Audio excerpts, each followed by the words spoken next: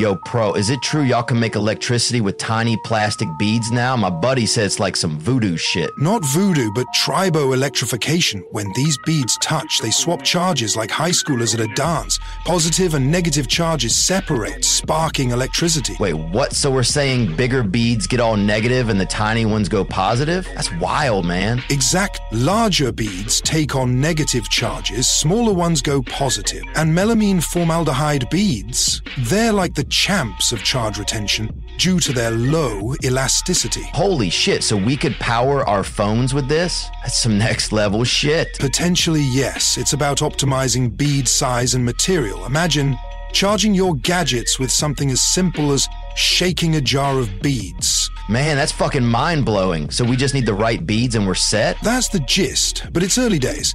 We need to refine the process, scale it up. It's fascinating how something so small could lead to big changes in energy harvesting. Damn, science never ceases to amaze me. Can we start using this shit tomorrow? Not quite tomorrow, but soon, hopefully. The future of energy might just be in the palm of our hands, or in a handful of beads. Follow if you want to know more, and as always, thanks for watching.